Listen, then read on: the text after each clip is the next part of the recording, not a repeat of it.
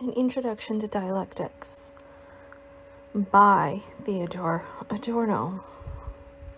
This is Lecture 7, June 12th, 1958. Ladies and gentlemen, in the last session we began to address the objection which has been raised against Hegelian philosophy from fairly early on, and which is indeed a radical one. It is this. Why does this philosophy merely seem to acknowledge contradiction rather than simple difference? In this objection, it is not difficult to recognize a rather more precise formulation of the problem, which I have already mentioned in more general terms, namely the problem of whether Hegelian philosophy ultimately forces everything that exists into a conceptual straitjacket.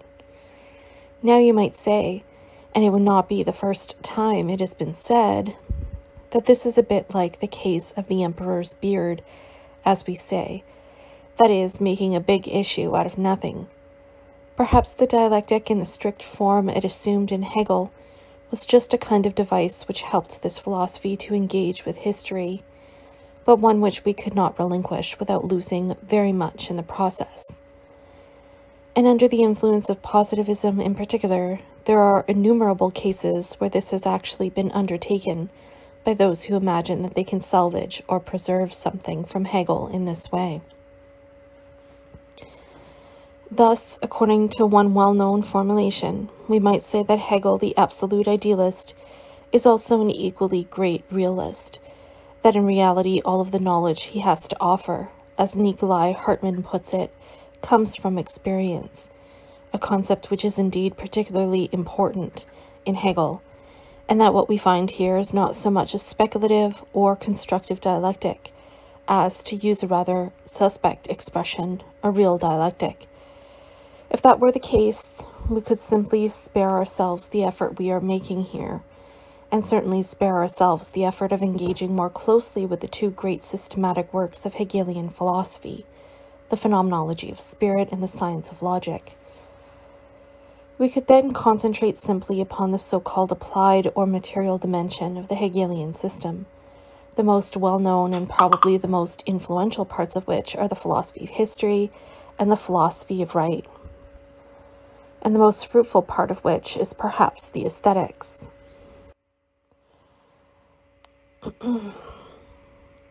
but this approach cannot work for the simple reason that if we actually ignore the strictly constructive form of Hegelian philosophy, it ceases to be philosophy at all, and in fact becomes nothing but a rhapsodic collection of various more or less significant material insights. But the celebrated spiritual bond would then be just as missing here as in the standard practice of the positive sciences, which this philosophy specifically undertook to challenge. In other words, without the rigorous and fully elaborated dialectic, we would simply turn Hegel into a learned and many sided historian of thought in the style of Wundt, or, in the best case, Dilthey. At the same time, perhaps even more importantly, we should thereby forfeit the very power which vouchsafed Hegel his insights in the first place. For with regard to Hegelian philosophy, we may safely say, for all that it is a science of the experience of consciousness, that this philosophy owes its capacity to grasp reality as it did, namely as something essentially developmental in character, solely to the dialectical principle, and that without this dialectical principle in its pointed form, everything that has remained of Hegel in the public consciousness The idea of development of dynamic process as the preeminent category in relation to all other concepts would also inevitably be lost or become a matter of merely contingent observation. Of course, the fact that this philosophy necessarily postulates some spiritual bond of this kind, if it is to be binding, is not sufficient to establish that the construction in question can actually be dignified as truly compelling and indeed much of the critical discussion of the 19th century focused on this very aspect of Hegelian philosophy. Our task is to grasp this particular problematic very clearly, given that it concerns the core of the structure of this philosophy, rather than leaving the dimension of God or contradiction to itself, and turning instead to the wealth of concrete insights it contains, insights which actually derive from that dimension anyway. For this core of the Hegelian philosophy, and this is the reason why I must encourage you to think through a whole series of, of far from simple reflections with me here, is indeed the ref, uh, is indeed the principle of negation, or the principle of contradiction. The attempt has been made to interpret the Hegelian philosophy, above all and with particular emphasis by Kroner in his book From Kant to Hegel. In the last session, we tried to take the bull by the horns and derive the Hegelian concept of contradiction, or, to put it directly, the Hegelian concept of dialectic from the Kantian dialectic. Thus, I would remind you that Kant's transcendental logic falls into two parts, namely the transcendental analytic and the transcendental dialectic, and that, for Kant, the dialectic represents what would be called the negative side of transcendental logic. In straightforward terms, we can present the argument as follows. The critique of pure reason attempts to show the possibility of universally valid and necessary knowledge, or, as Kant puts it, of synthetic a priori judgments. By analyzing consciousness and demonstrating that such universally valid and um, necessary knowledge is made possible only by virtue of the constitu- constitutive forms of our consciousness itself. But the critique of pure reason, precisely by being a critique, already reveals two things. On the one hand, it wishes to exhibit the domain within which we are capable of such knowledge. While on the other, hold on, while on the other hand, it wishes to show where we are no longer capable of such valid and binding knowledge.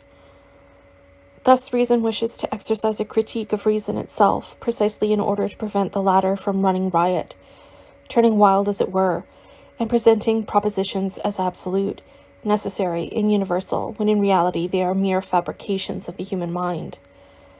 In other words, such a critique would not only serve to exhibit the necessity of metaphysics, it would emphatically reject metaphysics as well.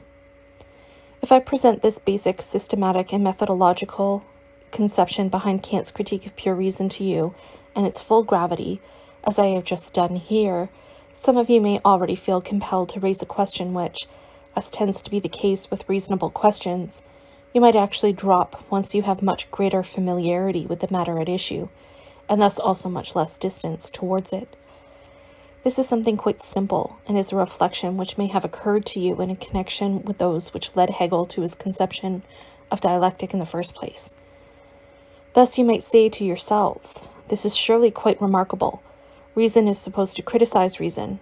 Reason is supposed to assign to reason the limits within which it may now safely and confidently pursue its claim to universally valid and binding knowledge, and is supposed at the same time to cry. Halt if you venture beyond this point. You will be talking nonsense. You will be creating fabrications or at best producing assertions which in reality cannot be presented as theoretical knowledge claims, but only as normative or regulative principles for human conduct. And you might also and you might also go on to say, but if as a rational being you assign these limits to reason here, is there not a sense in which you already raise yourself beyond these limits? And if reason claims to tell how far you may go and how far you may not go, does not this already imply that reason somehow stands beyond the limits which are set by reason itself? From where does reason derive the right? We may also we might also ask, and this is precisely how Hegel formulated the question, to subject knowledge to this critique, since for its part such a critique, a critique of the faculty of knowledge on the part of reason, is not itself an example of substantive knowledge or of material insight into any specific matters which are presented to us. On the contrary, it is nothing but a transcendental insight, as Kant calls it, that is, an insight which relates to mere possibility, but one which, according to Kant, is nonetheless supposed to possess absolute validity for the, for the constitution of our knowledge in general. But if that is the case, then our knowledge must have within itself some kind of power which allows it to reach beyond the so called possibility of experience. That is to say, it must be able to provide a, a kind of knowledge which does not itself depend upon given sensuous or material content, which in other words does not depend in the last instance on mere sensation. If this really quite simple argument is correct, one which can be expressed by saying, as George Simmel formulated it, that to set limits also always means to step beyond them, then the distinction affirmed by the critique of pure reason between a positive part, namely the transcendental logic, which exhibits the fundamental concepts of our experience, and a negative part, namely the transcendental dialectic, where we find ourselves entangled in contradictions, then the separation is and the, then the separation in question is actually no longer legitimate. And then that second part, where we are necessarily entangled in contradictions, also belongs as a positive part as much to the domain of knowledge as the first part also does. For if our reason, in reflecting upon cogn cognitive reason as such, did not possess within itself the power to judge with regard to the unconditional and with regard to what is absolutely binding upon us, then it could not possibly pass those negative judgments which are indeed presented in the transcendental dialectic. In other words, reason must accordingly strive to take up precisely those contradictions, those antinomies, which are treated in the transcendental dialectic and incorporate them within itself as a positive element, to take precisely those points where reason comes up against and advances beyond its own limits and transform into an organ of knowledge itself. In other words, the critical role of reason and the so called positive role of reason must be fused with one another. That is, the positive knowledge of what is must take up that critical and negative moment within itself, and the merely negative, in turn, must not remain merely negative, but rather be developed to the, to the point where it becomes a positive moment within itself. That is, in fact, one of the most important aspects of the basic considerations which led Hegel to his radical formulation of the dialectic. In this regard, I could perhaps just read you a rather fine passage from Kroner, who sums up these thoughts as follows. In his critique of reason, Kant discovers the interdependence of the abstract and the concrete, of the formal and the material, of the rational and the empirical, of a, of a priori and a posteriori thought. inasmuch as the concrete, the material, the empirical, the a posteriori here effectively reflects upon itself, analysis, analyzes itself, criticizes itself. I might add here that the decisive concept for Hegel's considerations, which go beyond the Kantian position, is the concept of reflection. And I should also like to make a couple of remarks which may help to clarify the decisive dif difference between Hegel and his predecessors in this regard. We are talking here about the concept of reflection. Now, reflection in the first instance simply means a mirror image. In other words, reflection in Kant initially signifies the way that our reason contemplates reason itself. Um, relates as critical reason to the reason which stands before it. Now, what Hegel essentially does, along with the other post Kantian idealists, and this is what decisively distinguishes them all from Kant, is this.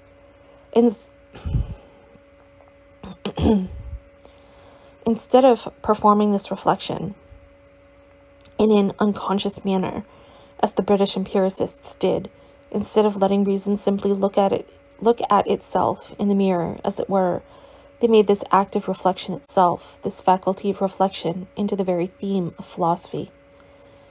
And the general claim that now emerges here is that this power which enables reason to know itself is and must be, at the same time, the power through which reason moves beyond itself in its finitude, and through which reason as something infinite finally comes to self awareness. We could say that what we are talking about here is the reflection of reflection, as Schlegel once put it, about the consciousness which has become infinite within itself, or infinitely reflected within itself, and is the presupposition of this entire philosophy.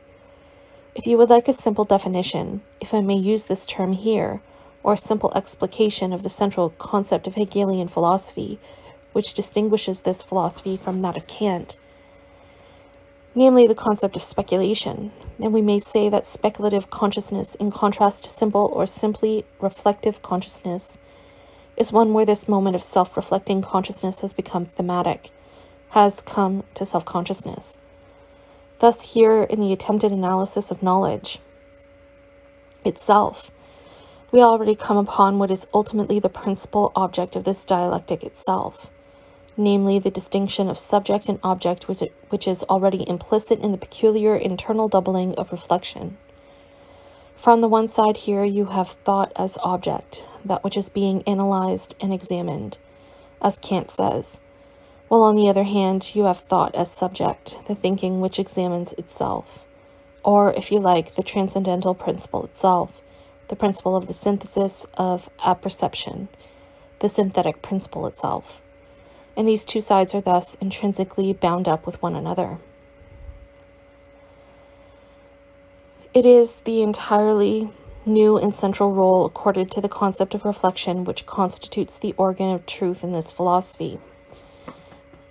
And we shall see that this moment of reflection, and this is the answer to the question we have asked ourselves here, that this principle of self knowing reflection is actually one with the principle of negation, the thinking of thinking. And here, as so often in Hegel, we find a renewal of an ancient Aristotelian motive. The gnosis, gnosos. The thinking of thinking itself in Hegel is actually nothing other than the fully developed principle of negativity. But allow me here to read a little more of the same passage from Kroner. Kant's critique of reason, he says, grounds the validity of the empirical on the synthesis of both moments, i.e., of the a priori and the a posteriori, of the formal and the material, in cognitive thought, in in the knowing subject, the identity of which accomplishes the reciprocal supplementation of these two moments and renders it intelligible. In other words, it is the unity of consciousness, and the facts of this consciousness are precisely those which are brought together through synthesis in consciousness. It is this identity of personal consciousness that allows something like the unity of the world, the unity of the experience, that allows identity, and in the last analysis, also logical identity, to emerge for Kant in all, or at all. And Kroner then furnishes a clear and striking indication of that difference in relation to Kant, which we have been talking about. For the critique of reason itself, he writes, proceeds in a naive way in this regard, insofar as its reflection remains merely critical in character, and consequently, according to which way we consider it, remains either merely empirical or merely logical or analytic. To that extent, the togetherness of the moments, the synthesis, is merely deduced for empirical knowing, but its own knowing is contrasted with empirical knowing as mere reflection, as merely formal knowing, and thus not really as a knowing, but only as mere thinking, as a non cognitive logic, i.e., a non metaphysical logic that is why this critique relates to metaphysics in a merely negative fashion. Can see in metaphysics nothing but a self contradictory form of thinking, a thinking which is therefore devoid of content, self destroying, and nugatory in the same way as empirical thought sees the contradictions which rise in metaphysical thought. What this means can be expressed as follows. On the one side, in Kant, we have something like the form of knowledge or cognition. On the other side, we have the content. The content somehow happens to reach knowledge from outside. The content itself, we could almost say, is actually withdrawn from reflection. Kroner basically characterizes Hegel's position as follows. This whole separation actually has something rigid about it, on the one side, I presuppose that there are certain forms, and on the other side, I presuppose there are material contents. And I decree somewhat arbitrarily that these forms are only meant to be valid for those contents, but not valid in themselves. But in reflecting upon these forms, I already turn the forms themselves into content, as it were, and thereby show that this distinction of form and content from which I begin cannot possibly be conceived as an absolute distinction and likewise in turn, the supposed contents, i.e., the data of sensation, cannot possibly be given to me independently of my consciousness, independently of the identity of thought. He says, in other words, that Kant had indeed already set forth the principle of synthesis, the principle of transcendental synthesis, or apperception, but he set it forth only in an abstract way, and thus did not actually get beyond the unmediated oppositions of form and content, of concrete and abstract, of a priori and a posteriori. And the task of philosophy is not simply to let these oppositions stand opposed to one another in a dogmatic manner, but rather to develop these oppositions in and out of one another. But Hegel nonetheless follows Kant insofar as he does not simply deny the tension which presents itself between these moments. The fact that form is not merely absorbed into content, or that forms without content do indeed get themselves entangled in such difficulties. All those, in short, which Kant himself sets out in the Transcendental Dialectic. On the contrary, Hegel recognizes this tension, but he also says that I am not entitled to set up a kind of border or limit here, once I have acknowledged and taken up into my reflection the fact that I find myself in these difficulties when I attempt to move beyond the content with these forms.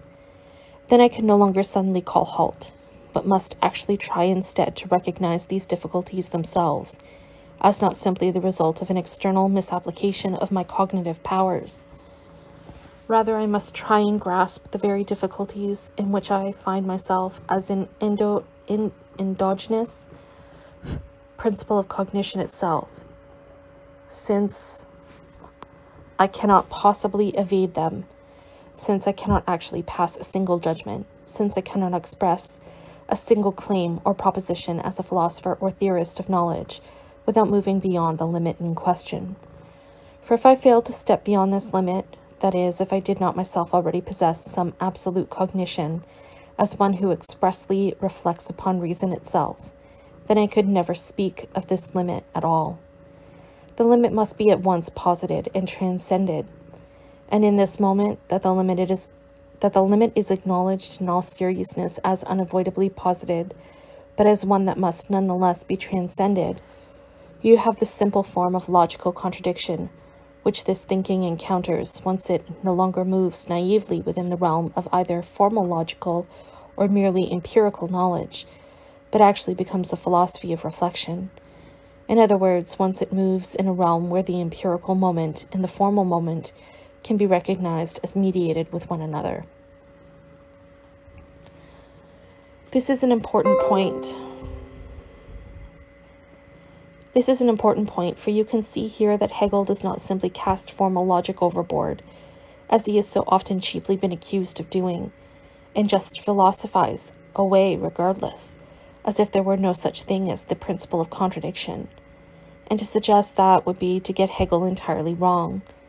In the first place, he acknowledges the validity of the principle of contradiction for the normal realm of knowledge established by the understanding that is, both for our normal empirical knowledge and for the field of formal logic, just as for any other form of thought. But when I relate as a reflective subject, that is, when I do not just focus direct attention upon formal propositions or contents, but rather think through the relationship between these moments themselves, then I actually find that the form in which they can be grasped is solely and precisely the form of contradiction itself, rather than the form of blank identity. What is denied, therefore, is not the contradiction of form and content or any contradiction of this kind, for such contradiction remains in force as far as our finite and limited knowledge is concerned, but precisely insofar as this knowledge attains self consciousness or expressly reflects back upon itself. It comes to realize that contradiction, which it must deploy as a criterion of correctness, is at the same time the organon of truth. That is, it comes to realize that every particular instance of knowledge becomes knowledge only through and by means of contradiction. And this is the way in which this negative principle, this principle of contradiction, is actually derived from the Kantian doctrine of antinomies, as Hegel presents it. You will rightly expect me at this point to provide some further clarification of these issues in terms of a specific model, as it were. I do not wish to disappoint this expectation, but I should also tell you that in doing so, I would actually contravene Hegel's own practice in a serious way. For Hegel was always extraordinarily skeptical towards the concept of examples. There are a couple of passages in the encyclopedia where Hegel rather ostentatiously rejects the suggestion that he should provide examples. Why Hegel should act in this fashion, why he should refuse to furnish examples, and it is especially difficult for pre dialectical consciousness to understand Hegel properly in this regard, is not so hard to grasp. For the concept of example always presupposes that we have a universal conceptual range or field at our disposal, something which is firm and reliable, positively given, a reified result, which can be exemplified in the particular case which it subsumes. But in Hegel, this very conception of a universal logical field within which the particular is grasped is suspended, at least here on the level of the speculative concept. That is to say, there is here no universal conceptual field which includes so many things within it. For the universal conceptual field consists precisely in the life of the particular it grasps within it. It fulfills itself through the particular. It does not merely cover or include the particular, but arises out of it. It has its life in the particular, and nothing particular can thus be regarded as a merely lifeless example, which has been abstracted from it. And this is, in fact, what makes it so extraordinarily difficult when one is required to think dialectically to provide an example of the dialectic. Nonetheless, while fully aware of these difficulties, I would like to try and offer you an example here. Indeed, a rather simple and elementary one, and you may think a rather shocking one. Let us take the proposition X is a human being. The first thing we might say about this proposition, insofar as it subsumes Mr. X under the logical species human being, is obviously that it is correct, assuming that we are talking about a human being as distinguished from, say, other biological species. But consider for a moment what this means. X is a human being. A human, we have said. If in general you say X is a human being, as in the case of the usual logical form A is B, there is a certain problem in this, for the A that is supposed to be B here is not the whole of B. Rather, B is a universal, and the A is only a specific representative of the former. There is indeed an identity here insofar as the particular phenomenon, the individual, A, is subsumed under concept B, but nonetheless the identification involved is not a complete one. Now Hegel would say that what is formally implied here, that X is indeed a human being, though in expressing this in the logical form A is B, you see that A is precisely not the whole of B, but only a representative of B actually has a very serious meaning. For he would say, and this I think also reveals something of the rigor of the remarkable freedom of the almost playful superiority which dialectical thought actually involves, that if I subsume the X under the concept of the human being, then the concept of human being includes everything possible which the individual X, in fact, is not. He would not simply content himself, therefore, with a primitive biological definition of human being, but would say instead if we are talking about a truly vital comprehension of the human being as such, that we must think in terms of categories such as freedom, individuation, autonomy, the possession of reason, and a host of other things, all of which are already implicitly contained in the concept of human being as the objective character of the latter. And it is nothing but an act of arbitrariness to omit or ignore such categories in order to provide an operational definition of the human being as something which actually possesses these or those generic characteristics of a biological kind.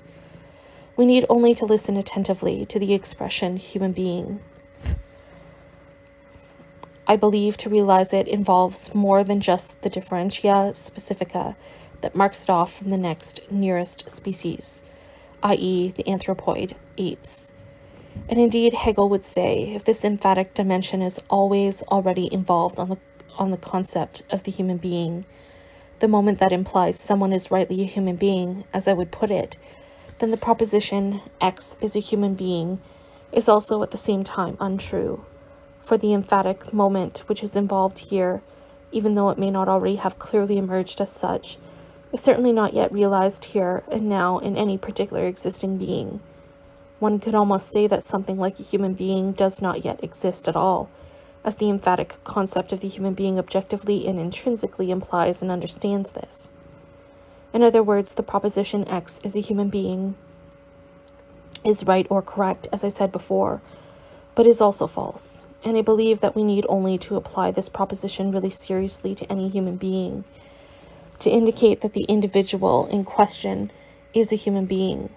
And we will realize this difference at once. We'll realize that the individual does not yet really do justice to the concept of the human being in the emphatic sense, the concept of the human in terms of absolute truth.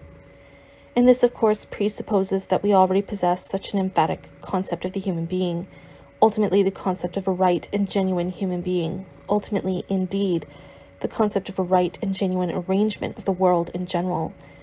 When we say human being, the expression says more to us than the mere generic concept or species, even if we are subjectively unaware of this.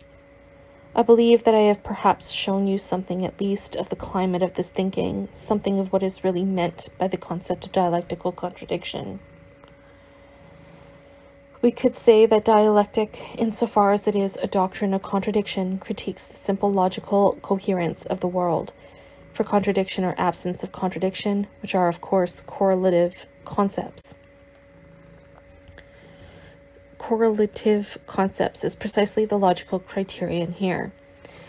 One can undertake to reduce the whole of logic to non-contradiction. And this has indeed been done. Now, if we ascribe such a central role to the concept of contradiction, as Hegelian philo philosophy does, this implies something that I have already explicated to you in a very different context. It implies that we cannot just acknowledge the logical coherence of the world, cannot acknowledge without more ado that the world and our thought are identical with one another, that the world and thought essentially exhaust one another. Rather, we acknowledge precisely that they diverge from one another. And here we must confront the paradox that this divergence between thought and the world is in turn necessarily mediated through thought Thought itself must therefore strive to grasp precisely what is not thought, and this paradox, that it must try and do what it cannot do, reveals itself in any in every particular judgment that thought makes, and refers that judgment to the whole, the connected totality into which thought in its contradictory character must precisely unfold. We say in conclusion, therefore, that the Hegelian idea of contradiction follows from the emphatic concept of truth itself.